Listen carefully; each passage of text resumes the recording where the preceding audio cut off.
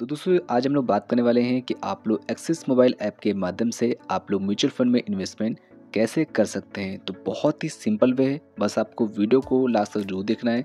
ताकि दोस्तों, जब आप इन्वेस्टमेंट शुरू करें तो वहाँ पे आपको कोई भी कन्फ्यूज़न या फिर कोई भी दिक्कत ना हो। तो चलिए दोस्तों स्टार्ट करते हैं और जानते हैं सारा प्रोसेस तो सबसे फ़र्स्ट दोस्तों, आपको अपने एक्सिस मोबाइल ऐप को ओपन कर लेना है और उसके बाद सबसे फ़र्स्ट आपको लॉगिन कर लेना है। लॉगिन करने के बाद आपका इस तरह का इंटरफेस आ जाता है। यहाँ पे आपको क्लिक करना है मोर वाले ऑप्शन पे, जो कि आपको यहाँ पे कॉर्नर में मिल जाएगा। ये वाला दोस्तों जो ऑप्शन होता है, यहाँ पे आप सभी को क्लिक करना है। तो चलिए दोस्तों हम लोग इस मोर वाले ऑप्शन पे क्लिक करते हैं। उसके बाद आपको यहाँ पे एक ऑप्शन मिलेगा इन्वेस्टमेंट का। आप सभी को इसी इन्वेस्टमेंट पे क्लिक करना है। उसके बाद दोस्तों आपका जो इंटरफेस है, इस तरीके से यहाँ पे आएगा। तो यहाँ पे आप जो भी म्यूचुअल फंड चाहें, वो दोस्तों सेलेक्ट कर सकते हैं, जो भी आपका मन हो। तो यहाँ पे आपको ऑल फंड्स पे क्लिक करना है तो यहाँ पे ऑल फंड्स पे क्लिक कर देंगे। दोस्तों, यहाँ पे आप अपने जो भी म्यूचुअल फंड में इन्वेस्टमेंट करना चाहते हैं, उसको दोस्तों आपको सर्च कर लेना है। यहाँ पे दोस्तों मैं कोई भी म्यूचुअल फंड को सेलेक्ट कर लेता हूँ, बाकी दोस्तों आपका जो भी मन हो, वो आप दोस्तों सिलेक्ट कर सकते हैं। तो जैसे दोस्तों आप सर्च करेंगे, जैसे मैं इंडेक्स फंड में अभी करना चाहता हूँ तो यहाँ पे अभी इंडेक्स फंड में मैंने किया है। तो यहाँ पे इंडेक्स फंड में Aditya Birla sun life CRISIL करके आया है इंडेक्स फंड तो मैं अभी इसी को सिलेक्ट कर लेता हूँ। अब दोस्तों, यहाँ पे आपका जो भी आप जिसमें भी इन्वेस्ट करना चाहते हैं, वो आपको अपने हिसाब से ही सिलेक्ट करना है। तो दोस्तों, जैसे ही आप लोग म्यूचुअल फंड पे सिलेक्ट कर लेंगे, उसके बाद जो भी उसकी डिटेल्स होगी, वो आप यहाँ पे देख पाएँगे। उसके बाद यहाँ पे जो भी होल्डिंग होंगी, जो भी चीज़ें हैं, वो आप यहाँ पे देख पाएँगे। तो देख सकते हैं, जो रिस्क मीटर है, बहुत ही लो है। तो यहाँ पे जो पैसा है, वो आपका रिस्क बहुत ही कम है कम है। दोस्तों, आपको अपने हिसाब से म्यूचुअल फंड को सिलेक्ट कर लेना है। आपका जिसमें भी मन हो, वो आप म्यूचुअल फंड को सिलेक्ट करिएगा। उसके बाद आपको यहाँ पे एक ऑप्शन मिलेगा इन्वेस्ट नाउ का। आपको इन्वेस्ट नाउ पे ही क्लिक करना है। अब दोस्तों, यहाँ पे आपका जो इंटरफेस है, इस तरीके से आ जाएगा।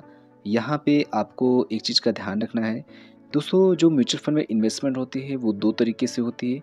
एक दोस्तों होता है एसआईपी दूसरा होता है दोस्तों लमसम अब दोस्तों, यहाँ पे जो एसआईपी का मतलब होता है कि सिस्टमेटिक इन्वेस्टमेंट प्लान होता है मतलब शुद्ध भाषा में कहें तो एसआईपी का मतलब दोस्तों ये होता है, अगर आप एक बार एसआईपी को लगाते हैं और अपनी डेट को सिलेक्ट कर लेते हैं तो हर मंथ ऑटोमेटिक ही आपका जो पैसा एस में फ़िक्स कर दिया है, जो भी आपने फ़िक्स किया है, वो दोस्तों हर महीने आपके अकाउंट से कटता रहेगा, इसके लिए आपको कुछ भी करने की ज़रूरत नहीं पड़ेगी।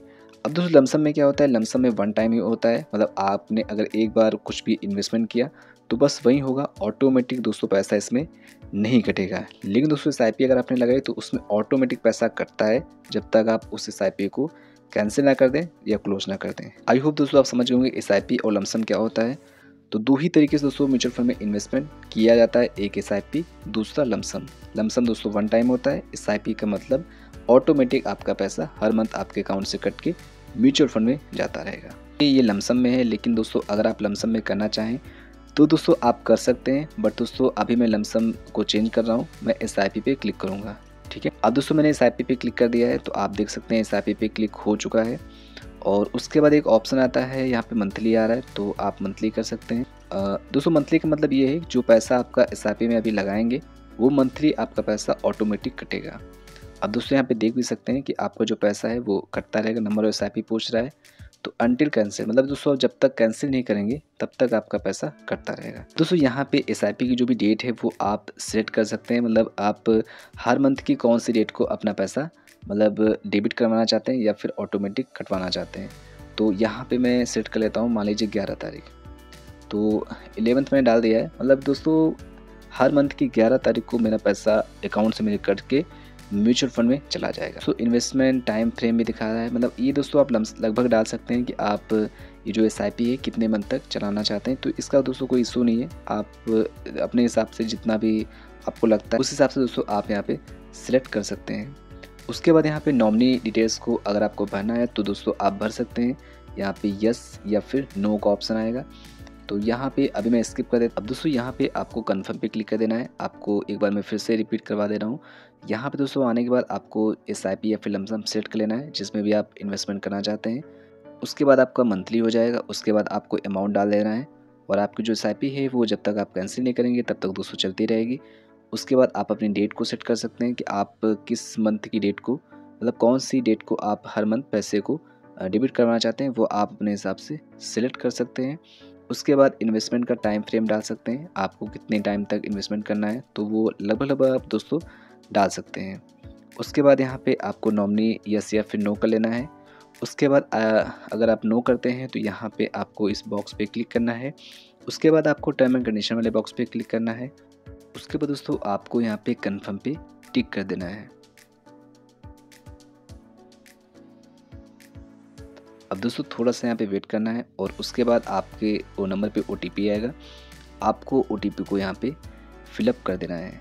तो दोस्तों ओटीपी को फिलअप करने के बाद आपको यहाँ पे सबमिट वाले बटन पे क्लिक कर देना है।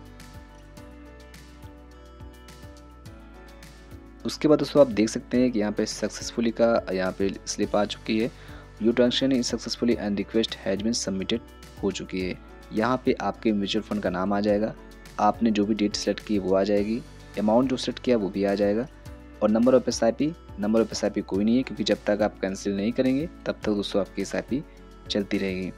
दोस्तों, इतना सिंपल वे है, आपको अपनी एसआईपी इसी तरीके से स्टार्ट करनी है। दोस्तों आई होप आप समझ गए होंगे कि आप एक्सिस मोबाइल ऐप के माध्यम से म्यूचुअल फंड में कैसे इन्वेस्टमेंट करते हैं एसआईपी के थ्रू तो आई होप दोस्तों आपको समझ में आया होगा कि आप लोग एक्सिस मोबाइल ऐप के माध्यम से म्यूचुअल फंड में इन्वेस्टमेंट कैसे करते हैं। अभी मैंने दोस्तों आपको एस के माध्यम से बताया है, लेकिन आपको नेक्स्ट पार्ट में आपको लमसम के माध्यम से बताऊँगा कैसे आप वो लोग लमसम के माध्यम से करते हैं। पर दोस्तों, अगर आपको इस प्रोसेस में जो भी मैंने बताया है आपको, इसमें दोस्तों आपका कोई कन्फ्यूज़न हो या फिर कोई भी आपका डाउट हो या फिर कोई भी आपका सवाल हो तो आप मुझसे पूछ सकते हैं, आप कमेंट कर सकते हैं और मैं आपके कमेंट का उत्तर जोड़ दूँगा। तो थैंक्स फॉर वॉचिंग दोस्तों। Bye bye